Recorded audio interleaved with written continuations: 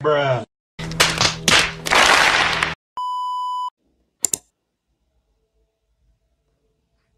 Jarvis यार तुम्हारी भाभी का बर्थडे भूल गया हूँ मैं तो एक सॉरी बोलते हुए उसे एक लव लेटर लिख दोगे Sure, sir. Here is apology letter for Barbie G.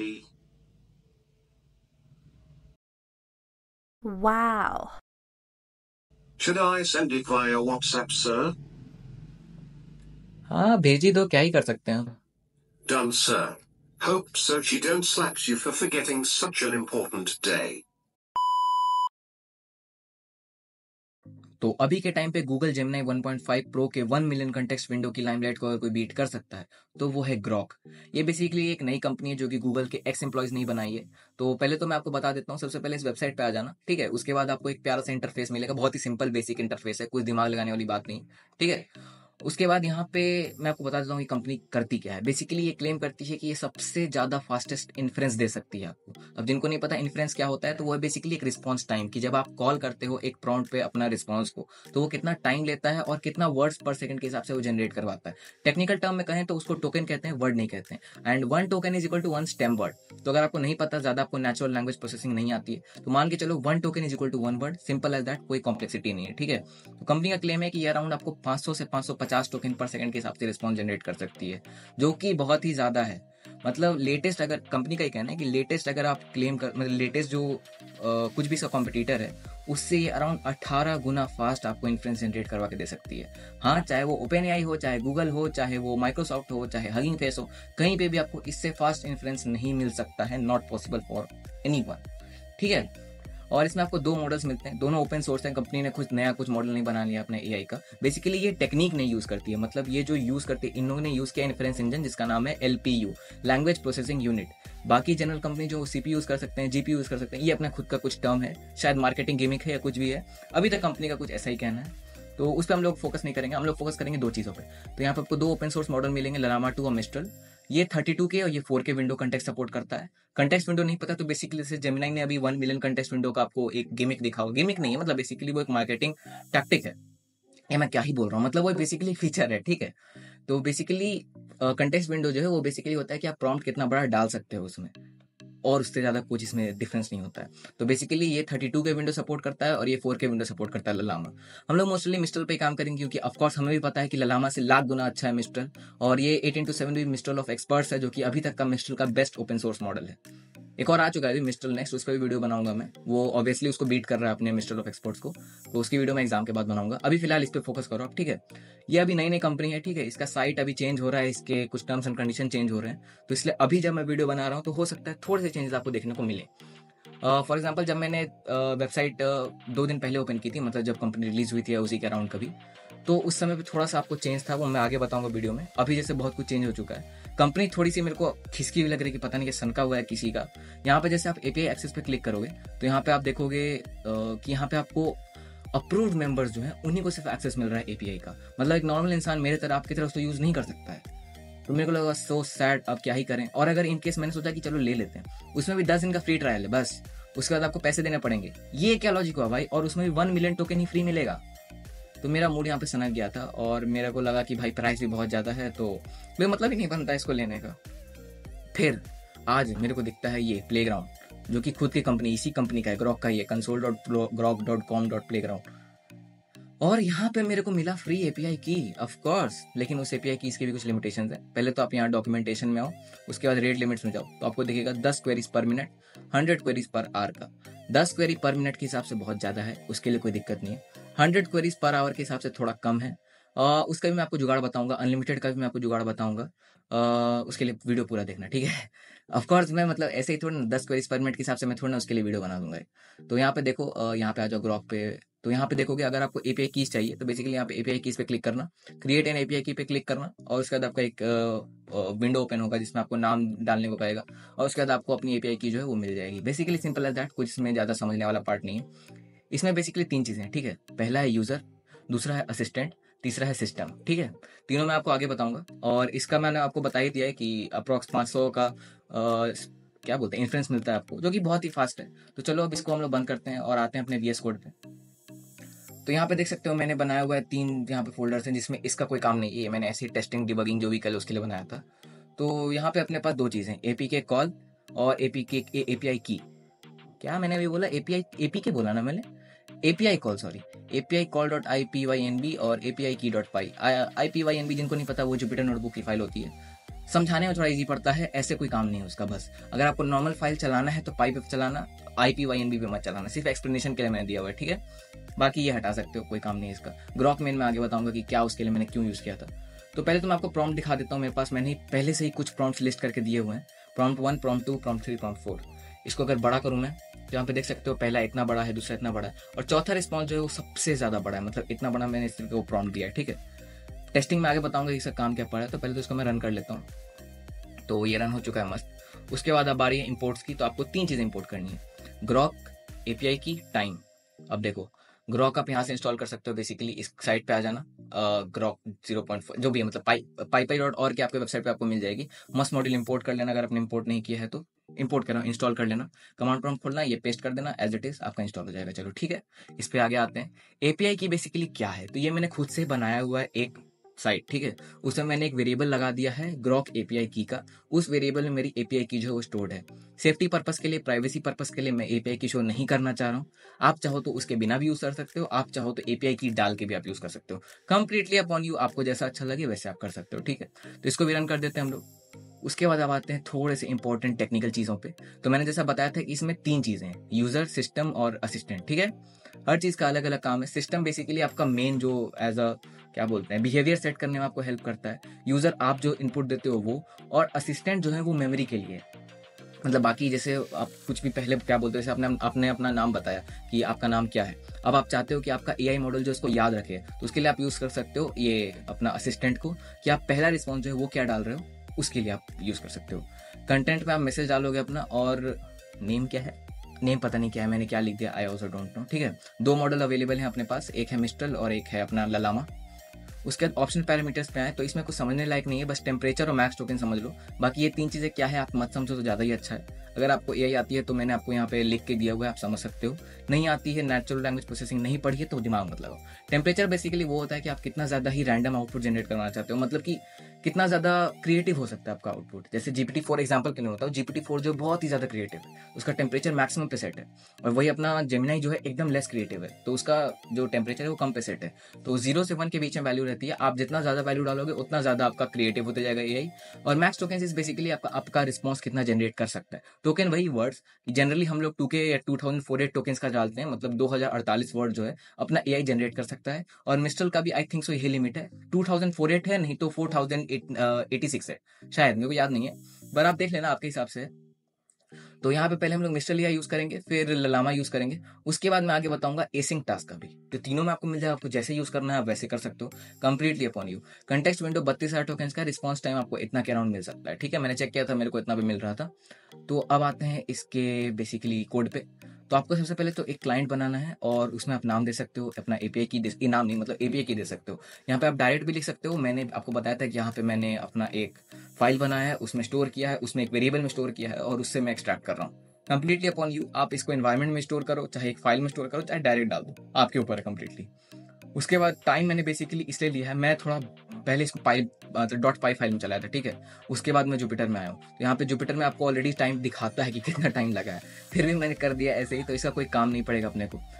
उसके बाद आप मॉडल सिलेक्ट कर सकते हो, आपका मॉडल ललामा और मिस्टल के बीच में आप सिलेक्ट कर सकते हो। इनकेस कंपनी अगर कोई तीसरा भी निकालती है तो वो भी आप यूज़ कर सकते हो कंप्लीटली अपॉन यू उसके बाद सिस्टम रिस्पॉन्स जैसे आप देखो तो ऐसे आपको इसका फॉर्मेट है, ठीक है? यहाँ पे एक कॉमा भी लगेगा। तो यहाँ पे आप देख सकते हो सिस्टम और इसमें सिस्टम में आप कंटेंट क्या डालते हो? यूज़र यूज़र में आप कंटेंट क्या डालते हो? और उसके बाद असिस्टेंट असिस्टेंट में आप कंटेंट क्या डालते हो? मेरे को इन दोनों का कोई काम नहीं, इसलिए मैंने इसको साइड में कर दिया, मैंने इसको मतलब साइड मतलब वही कमेंट आउट कर दिया। अपने को बस इससे मतलब रोल यूज़र क्या जनरेट करवा के दे रहा है, क्योंकि मेरे को बेसिकली आपको बस टेस्ट आउट करके दिखाना है। बाद में इसको यूज़ कैसे करना है, वो आगे सोचेंगे। अभी तो एक्चुअली मेरा एग्ज़ाम भी चल रहा है तो इसलिए मैं बहुत ही सस्ता टिकाऊ जैसे बन रहा है, बस एकदम बहुत ही फास्ट और बता दे रहा हूँ कि आपको एटलीस्ट पता चले कि दुनिया में चल क्या रहा है। ठीक है? और उसके बाद जब ये देख सकते हो, ये मैंने यहाँ पे कुछ सेट कर दिया मैक्स टोकन कितना है टॉप पे कितना है स्ट्रीम का मतलब होता है कि रियल टाइम आउटपुट जैसे कि वहाँ पे आपने देखा होगा कि मतलब दिखेगा तो एटलीस्ट आपको नहीं इसमें, क्योंकि टोकन स्पीड बहुत ज़्यादा है. लेकिन अगर आप नॉर्मली देखोगे तो इन रियल टाइम आपकी वैल्यूज़ जनरेट होती है मतलब आपका आउटपुट जनरेट होता है. तो स्ट्रीम अगर ऑफ़ कर दोगे तो आपको फॉल्स कर दोगे मतलब बेसिकली तो आपको आउटपुट एक ही बार में मिलेगा और पूरा टाइम लेके मिलेगा. तो that is upon you of course हम लोग जब जारविसम्स को यूज़ करेंगे स्पीक फ़ंक्शन के लिए तो इसको ऑफ़ कर देंगे, क्योंकि बेसिकली स्पीक को बेसिकली एक ही पूरा का पूरा सेंटेंस चाहिए होता है। वो स्ट्रिंग में आपका रिस्पॉन्स जनरेट नहीं करवा पाएगा एरर दे देगा उसको। स्टॉप क्या होता है? छोड़ दो मेरे दिमाग में पल्ले नहीं पड़ा इसके। और उसके बाद हम लोग प्रिंट करवा देंगे बेसिकली तो इसको पहले मैं रन करके बताता हूँ। तो प्रॉम्प्ट वन बेसिकली देखो पहले है क्या? आ, मैंने चैट जीबी से जनरेट करवा था इसलिए मेरे को भी नहीं पता है क्या है ये। प्रोवाइड अ कम्प्रहेंसिव एनालिसिस करने बोला है इसने कुछ ऐसा ही ठीक है? अपने क्वेश्चन मतलब नहीं उसने क्या बोला है? मिस्टल का हम लोग ये नहीं चेक कर रहे हैं मिस्टल कितना पावरफुल है। हम लोग बेसिकली चेक कर रहे हैं अपना एपीआई इन्फ्रेंस तो यहाँ पे देख सकते हो थोड़ा 4.9 सेकंड इसलिए लगा क्योंकि अभी जस्ट मैंने इंपोर्ट किया है ग्रॉक और वो थोड़ा मोड़ा टाइम लगा उसको, क्या बोलते हैं, ये करने में। तो इसलिए यहाँ पे थोड़ा टाइम लगा है, नहीं तो जनरली आपको रिस्पॉन्स बहुत ज़्यादा फास्ट मिलेगा। मैं आगे आपको बताऊँगा कि कैसे आपको फास्ट मिल सकता है। तो यहाँ पे देख सकते हो इसने मस्त मुझे जनरेट करके दे दिया है सब कुछ एकदम बढ़िया से। लंबा चौड़ा बहुत ही जल्दी मुझे फास्ट रिस्पॉन्स मिलेगा। एक और बार इसको मैं रन करके बताता हूँ। यहाँ पे देखो, इस बार मुझे को 1.6 सेकंड में रिस्पॉन्स मिल गया। तो वही बात है कि डिपेंड करता है कि आप कैसे यूज़ कर रहे हो, ठीक है? और हम लोग, मैं वापस से बता दे रहा हूँ, हम लोग ना मिस्टर को कंपेयर कर रहे हैं, ना ललामा को कंपेयर कर रहे हैं, क्योंकि वो मैंने ऑलरेडी वीडियो डाली हुई है तो आपको चाहो तो आप चैनल पर जाओ, आराम से चेक करो आपके ऊपर। हम लोग बस इन्फ्रेंस पे फोकस करेंगे, कितना बड़ा रिस्पॉन्स जनरेट करवा सकता है, उस पर फोकस करेंगे। तो अभी जैसे देखो, मैं यहाँ पे प्रॉन फोर डालता हूँ, जो कि बेसिकली बहुत ही ज़्यादा है, ठीक है? यहाँ पे रुको, मैं प्रॉन फोर लिखता हूँ यहाँ पे। और अब इसको मैं रन करता हूँ। भाई टाइम तो नहीं लेना चाहिए था यार। इज़्ज़त का फालूदा कर दिया है इसने of course seven point two second लिए हैं इसने, जो कि बहुत ही ज़्यादा है मेरे हिसाब से तो। एक और बार इसको मैं रन करके देखता हूँ।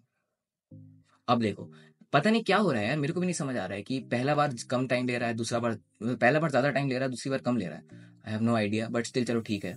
तो अब आप देख सकते हो, इसने मस्त मुझे उतना बड़ा इसने टोकन अराउंड हज़ार वर्ड्स का वो क्या बोलते हैं प्रॉम्प्ट है। तो उसने हज़ार वर्ड्स पहले तो समझे और उसके बाद within one point nine second दो सेकंड से भी कम, उसने मुझे रिस्पॉन्स भी जनरेट करवा के दे दिया कि क्या था। वो प्रॉम्प्ट मैंने भी नहीं पढ़ा, वो मैंने चैट जीपीटी से जनरेट करवाया था, इसलिए मेरे को कोई आइडिया नहीं है। तो एक काम करते हैं, इसको पहले चैट जीपीटी में भी ट्राई करके देखते हैं, ठीक है? देखते हैं अपना चैट जीपीटी क्या रिस्पॉन्स देता है मेरे को। यहाँ पे मैं आ जाता हूँ ए आई पे ए आई पे इसमें आते हैं न्यू चैट में आते हैं।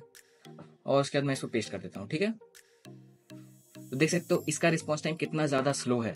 समझ तो इसने भी अपने जल्दी लिया, लेकिन रिस्पॉन्स टाइम से आप देख सकते हो कितना ज़्यादा स्लो है। उसका वही रिस्पॉन्स टाइम बहुत ही ज़्यादा फास्ट था। दो सेकंड के अंदर उसने सारे आउटपुट दे दिए। और वही अगर यही सेम चीज़ अगर मैं जेमिनाई से पूछूँ न्यू चैट करता हूँ मैं, और यहाँ पे मैं पेस्ट करूँ तो जेमिनाई तो भाई कहीं और ही चल रहा है किसी और ही जमाने में। हालाँकि इसका रिस्पॉन्स टाइम जीपीटी से ज़्यादा फास्ट है, पर फिर भी ये एज कंपेयर टू जीपीटी आगे नहीं चल पा रहा है अभी तक। मतलब देख सकते हो, इसमें भी ज़्यादा ही टाइम लिया इसने एज कंपेयर टू अपना वो जो भी है ग्रॉक जो है, उसने बहुत कम टाइम लिया है। तो छोड़ो, हम लोग इस पर फोकस नहीं करेंगे। ये क्या था भाई? छोड़ो भाई, अपने काम का चीज़ नहीं छोड़ो छोड़ो छोड़ो छोड़ो तो ये है बेसिकली मिस्टल अब आपको मैं करके बताता हूँ अपना, ये क्या नाम है इसका ललाम ललाम का कंटेक्स्ट विंडो का साइज़ फोर के टोकन है और रिस्पॉन्स टाइम्स का थोड़ा कम पड़ते रहता है। मतलब डिपेंड करता है, कभी टू नाइनटी भी चला जाता है, कभी फोर फोर्टी भी चला जाता है, कभी फाइव हंड्रेड भी चला जाता है। एवरेजली आपको चार सौ के अराउंड आपको मिलेगा। तो इसका भी कोड सिंपल है बहुत ही ज़्यादा सिमिलर है, कुछ चेंजेस नहीं है। इसमें भी आप वही सिस्टम और असिस्टेंट अपने हिसाब से डाल सकते हो। और यहाँ पे बस आपको मॉडल का नाम जो है वो चेंज कर देना है। और उसका सिंपल है, वही स्ट्रीम वगैरह सब ट्रू ही रखे हैं मैंने। और इससे भी अगर मैं आपको जनरेट कर, जैसे मैं इसमें प्रॉम्प्ट टू डालता हूँ तो प्रॉम्प्ट टू का अगर मैं रिस्पॉन्स जनरेट कराना चाहूँ तो देख सकते हो ये ठीक ठाक response two point three second में इसने मेरे को रिस्पॉन्स जनरेट करवा के दे दिया है। मैंने बताया था इसका as compare to Mistral Mistral से फास्ट नहीं है मिस्टर सबसे ज़्यादा फास्ट है। क्योंकि ये Llama seventy billion model seventy billion थोड़ा इन्फ्लुएंस में टाइम लेता है। जितना ज़्यादा आप बिलियन टोकन्स का पैरामीटर्स का आप मॉडल लोगे, उतना आपको टाइम टेकिंग हो सकता है, ठीक है? तो still not a matter of fact for us तो आई होप से यहाँ तक तो समझ आ ही गया होगा आपको। अब आते हैं अपने मेन इंपॉर्टेंट टास्क पे, जो कि एसिंग टास्क अब देखो जिनको नहीं पता है एसिंग टास्क क्या होता है मत समझो कोई दिक्कत की बात नहीं है। मेरा काम था समझाना मेरे को मिला फीचर मैंने बता दिया आपको कि एसिंग टास्क आप यूज़ कर सकते हो। जस्ट आपको एसिंग के लिए फॉर लूप यूज़ करना है और बस आप एसिंग टास्क अपना कंप्लीट करवा सकते हो। तो यहाँ पे देखो आ, मैं आपको बता देता हूँ जैसे एसिंग क्यू नाम का आपको सबसे पहले तो मॉडल इंपोर्ट करना है। बाई डिफ़ॉल्ट आती है कोई एक्स्ट्रा इंपोर्ट करने का ज़रूरत नहीं है ठीक है? ग्रॉक से हम लोग पहले में ग्रॉक से ग्रॉक इंपोर्ट कर रहे थे। और इसमें बेसिकली हम लोग एसिंग ग्रॉक इंपोर्ट करेंगे। उसके बाद आप एक फ़ंक्शन बनाओ एसिंग डेफ मेन नाम से उसके बाद क्लाइंट को ये करो वो करो। फलना चिलना जो भी है। आप यहाँ पे कुछ भी डाल सकते हो, रोल आप अपने हिसाब से डाल सकते हो, you are helpful assistant system का। यूज़र में आप जो जो चाहो वो आप डाल सकते हो। मॉडल आप चाहो तो इसमें बहुत मॉडल आप यूज़ कर सकते हो, ललामा है मिस्टल जैसा आपको ठीक लगे। ऑप्शन पैरामीटर्स आपके वही हो गए temperature max token top P stop stream वही सब है, ठीक है? इसमें कुछ समझने लायक चीज़ नहीं है। और फिर आप एसिंग के ही फॉर लूप में बता रहा था जो, यहाँ पे आप प्रिंट करवाओगे तो बेसिकली आपको एसिंग टास्क की तरह आपको रन होते हुए दिखेगा अपना एपीआई यहाँ पे देखो मैं इसको रन करता हूँ। शिट छोड़ो भाई दिमाग नहीं खराब करना है ठीक है? एसिंग टास्क ज़्यादा लोगों के लिए है भी नहीं।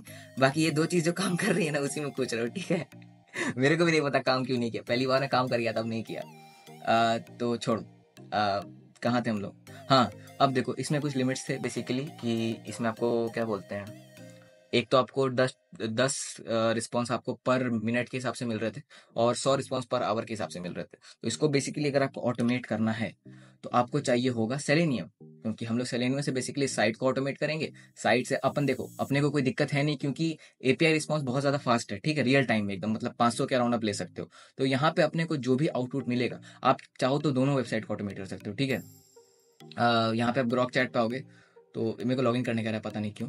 तो यहाँ पे इसमें भी आप चाहो तो इससे भी ऑटोमेट कर सकते हो यहाँ से, और इसमें चाहो तो इसमें भी ऑटोमेट कर सकते हो। यहाँ पे तो फीचर ज़्यादा है कि आपको सिस्टम प्रॉम टेम्परेचर वगैरह सब कुछ सेट करने का ऑप्शन मिलता है। न्यू मैसेज भी चाहो तो आप असिस्टेंट भी सेट कर सकते हो। सब कुछ का आपको ऑप्शन मिलता है, और उसमें आपको नहीं मिलता है। तो डिपेंडिंग अपॉन अवर यूजेज कि हम लोग को कौन सा ईजी करना है कि क्या करना है, और सेलेनियम का हम लोग को रियल टाइम का टेंशन नहीं, क्योंकि रिस्पॉन्स बहुत ही ज़्यादा फास्ट है। लेटेंसी है ही नहीं मतलब कह लो।